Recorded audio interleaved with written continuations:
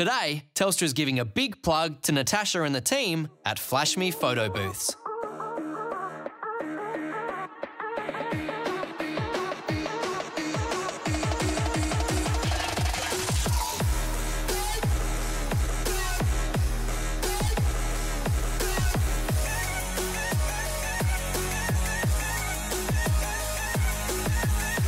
Check out their website at flashme.net.au.